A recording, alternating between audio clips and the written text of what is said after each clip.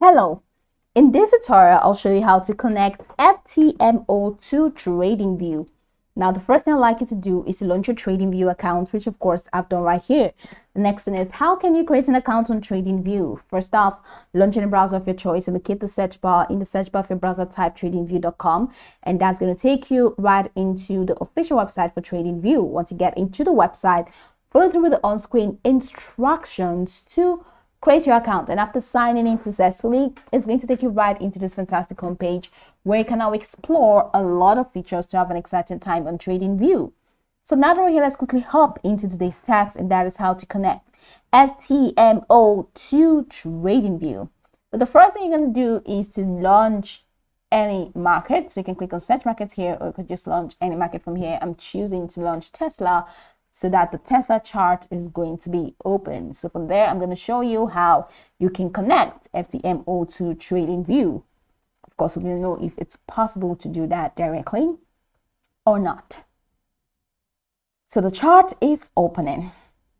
So from this window, we are here already. Head over to the bottom where you have stock screener, you have Pine Editor, you have strategy tester, you have trading panel. So take it to the trading panel tab and scroll the way down to search your brokers.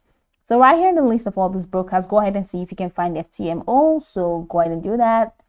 Do that easily. So it's not here, but there's an option for you to see all brokers.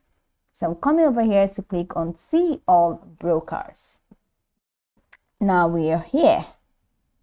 So scroll down so just search easy, search easy, search easy, search easy, search easy, and you see now that FTMO is not here. So it means TradingView does not allow a direct connection with FTMO.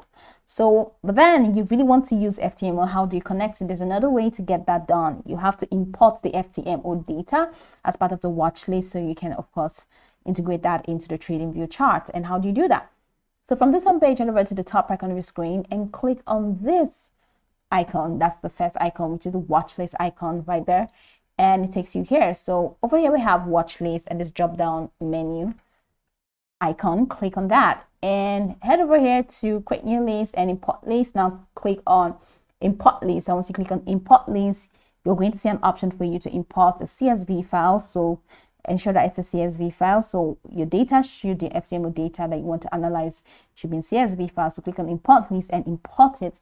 And after importing that watch list, you'll now be able to check you'll be able to watch your your trading features and you'll be able to check your chart using trading view on FTMO. So that's pretty much the process.